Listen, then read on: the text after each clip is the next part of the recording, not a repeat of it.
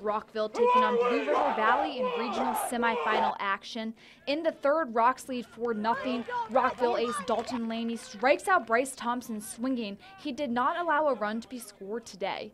The Rocks would add to their lead in the bottom half of the inning. It's Laney grounding into the fielder's choice, a wild sequence that ultimately ends in Ben Cunningham crossing home plate.